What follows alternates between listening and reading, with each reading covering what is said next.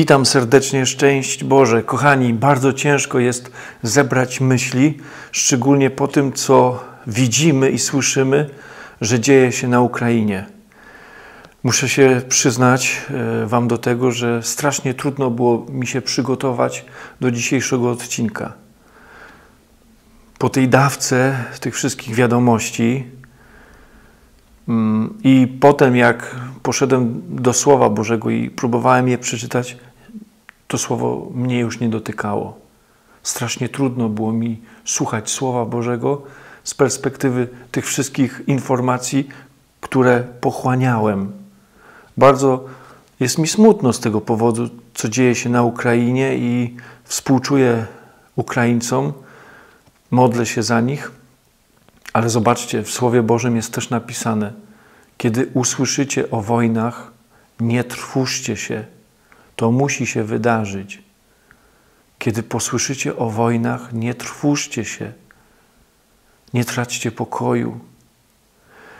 To jest właśnie bardzo ważny moment dla nas, żebyśmy nie stracili pokoju, żebyśmy nie stracili tej świeżości, czystości, umysłu, żebyśmy nie byli tacy odcięci, podcięci, tacy bez życia, no bo wydarzyła się wojna, jakieś trudne doświadczenie. No i co teraz? Żyć nam się przestaje chcieć. Już nie chce nam się żyć, nie chce nam się już czynić dobra. Po prostu jest jedna wielka tra tragedia. Modliliśmy się, żeby wojna nie wybuchła, a ona wybuchła. Bóg nas nie wysłuchał w tej modlitwie, więc modlimy się dalej, żeby teraz skutki tej wojny były mniejsze, żeby ona się zakończyła jak na, najszybciej, ale nie możemy się trwożyć. Nie możemy się lękać, nie możemy stracić pokoju. Bo wiecie, jak człowiek straci pokój, straci yy, to dobre nastawienie, to bardzo łatwo jest pójść w grzech. Grzech łat, łasi się do człowieka po to, żeby człowieka pocieszyć, a to nie grzech ma nas pocieszać tylko Bóg. Zajrzyjmy do słowa. Kto ma uszy do słuchania, niechaj słucha. Ewangelia według świętego Marka. Jezus powiedział do swoich uczniów: Kto wam poda kubek wody do picia, dlatego że należycie do Chrystusa, zaprawdę powiadam wam, nie utraci swojej nagrody. A kto by się stał powodem grzechu dla jednego z tych małych, którzy wierzą, temu lepiej byłoby kamień młyński uwiązać u szyi i wrzucić go w morze. Jeśli zatem Twoja ręka jest dla Ciebie powodem grzechu, odetnij ją. Lepiej jest dla Ciebie ułomnym wejść do życia wiecznego, niż z dwiema rękami pójść do piekła w ogień nieugaszony. Jeśli Twoja noga jest dla Ciebie powodem grzechu, odetnij ją. Lepiej jest dla Ciebie chromym wejść do życia, niż z dwiema nogami być wrzuconym do piekła. Jeśli Twoje oko jest dla Ciebie powodem grzechu, wyłup je Lepiej jest dla ciebie jednookim wejść do Królestwa Bożego, niż z oczu być wrzuconym do piekła, gdzie robak ich nie ginie i ogień nie gaśnie, bo każdy ogniem będzie posolony. Dobra jest sól, lecz jeśli sól smak swój utraci, czymże ją przyprawicie? Miejcie sól w sobie i zachowujcie pokój między sobą. A tutaj wojna, nie? Jak zachowywać pokój między sobą, skoro jest wojna? Dotyka ona całego świata. Dawno nie było takiej wojny w naszych, w, w pobliżu naszych granic, w Europie. Zachowujcie pokój między sobą i miejcie tą sól, która pochodzi od Boga. Choć może być nam ciężko, e, możemy się trudzić, możemy doświadczać naprawdę trudu, lęku, trwogi, zniechęcenia, to nie wolno nam za żadną cenę sięgać po grzech i w grzechu upatrywać podniesienia. Zobaczcie, ile jest nałogów. Skąd się biorą nałogi? Nałogi biorą się stąd, że człowiek bardziej w grzechu upatruje poprawy swojego nastroju, poprawy swojego y, odczucia. Muszę zgrzeszyć, bo jak nie zgrzeszę, będę się źle czuł, bo grzech jest taki, taki zachęcający, jak pójdę w grzech, to grzech rozwiąże moje problemy. Nie. Nie, Jezus o tym mówi. Nie dla grzechu. Choćby grzech był naprawdę piękny, y, choćbyś myślał, że bez ręki nie możesz żyć, bez grzechu, patrzmy na to w ten sposób, nie mogę y, żyć, to nie, to lepiej utnij sobie tą rękę. Po prostu grzech jest mm, czymś, co sprowadzi cię na dno. Każdy grzech, nie tylko ten ciężki, ale każdy, bo ten lekki grzech y, może nabrać takich rozmiarów, że stanie się coraz większy, coraz większy i więcej w naszym życiu będzie zła niż dobra. Zobaczcie, że w tej Ewangelii na początku jest e, e, napisane coś takiego dobrego, coś takiego pięknego. Ktoś zauważa w drugim człowieku to, że ten drugi człowiek należy do Chrystusa i obdarowuje go zwykłym kubkiem wody. Ja czegoś takiego doświadczyłem. Kiedy nie miałem nic, pewna pani podarowała mi wodę. Zwykły gest.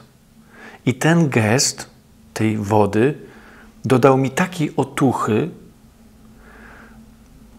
Przecież mógłbym w tym czasie pójść i ukraść. Nie miałem pieniędzy. Nie stać mnie było nawet na wodę. Mógłbym ukraść tą wodę i w ten sposób napoić y, się i zadośćuczynić mojemu pragnieniu. No ale to sprawiłoby by jeszcze większe zło. Poczekałem, Bóg posłał mi tą kobietę, ta kobieta mi dała butelkę wody, napiłem się i, i ożyłem. Nie tylko cieleśnie, no bo wiecie, ta woda, no, no to była jeszcze, jeszcze nie, cała woda, nie cała butelka, niepełna butelka. Więc tej wody nie było zbyt dużo, ile tam, 0,2 litra. Ale ten gest e, dał mi, e, dał mi wiele. Zaufałem Bogu jeszcze bardziej, bo widziałem w tym geście Boże działanie. I Bóg będzie nam dawał takie odrobiny wytchnienia, szczególnie w czasach takich silnych pokus, mm, takiego ataku zła, tego grzechu, że ten grzech będzie nam się wciskał w życie, bo się przyzwyczaliśmy do grzechu. Na przykład papierosy. Często tym, którzy palą papierosy, mówię jedną rzecz: A czy ty się urodziłeś z papierosami, że nie możesz bez nich żyć? To samo można powiedzieć o alkoholu czy innych nałogach, czy innych grzechach. Czy ty się urodziłeś taki? No nie. Nauczyłeś się grzeszyć. No tak, to teraz się naucz nie grzeszyć. Ale jak to zrobić? Z Bogiem. Możesz to zrobić z Bogiem. Bóg cię nie zostawia samemu sobie, nie zostawia cię w tej pokusie, mm, będzie, będzie blisko ciebie i pamiętaj, że pokusa nigdy nie jest większa od ciebie, że ty możesz ją odrzucić. Pamiętajmy, że pokusa nie jest jeszcze grzechem, ale jeśli wchodzę w grzech, wchodzę w tą pokusę, przyjmuję ją jako swoją, to to już jest grzech. Grzech zaczyna działać. I grzech nie jest rozwiązaniem. A czym jest grzech? Ktoś zapyta. Przekroczeniem przykazań. Żeby wiedzieć, co jest grzechem, to najpierw trzeba znać przykazania. A poznając przykazania, poznaje Jezusa, bo Jezus jest tym prawem. On jest tym przykazaniem. On jest w tym przykazaniu, jest w tym słowie obecny. Wypełniając przykazanie, wypełniam Jego wolę. Słuchając przykazań, słucham Jego. Idąc za przykazaniami, idę za Nim. A nie idąc za przykazaniami, nie idę za Nim. Idę za sobą samym, często też za grzechem. W grzech, grzech nie jest roz, rozwiązaniem Twoich problemów. Ja kiedyś myślałem, że jak nie zgrzeszę, to umrę. Okazuje się, że, że nie umarłem, jak nie zgrzeszyłem. Myślałem kiedyś, że jak nie zapalę, to umrę. Nie palę 18 lat. Nie robię, nie popełniam innych grzechów też od dłuższego czasu i widzę, że da się żyć. A nam ciągle jest mówione, że się nie da. A Jezus mówi: da się. Tylko jak ulegniesz y, złu, to pamiętaj, że to zło ściągnie cię do piekła, a tam będzie jeszcze gorzej. Więc nie szukajmy w tym, co nie jest Boże, rozwiązania, bo nie ma w tym rozwiązania i nie ma w tym pokoju. Nie szukajmy w wojnie pokoju, bo w wojnie nie ma pokoju. Każdy z nas chce pokoju, więc nie wywołujmy wojen. Nie kłóćmy się z drugim człowiekiem, nie walczmy na pięści, na słowa, bo to nic nie da.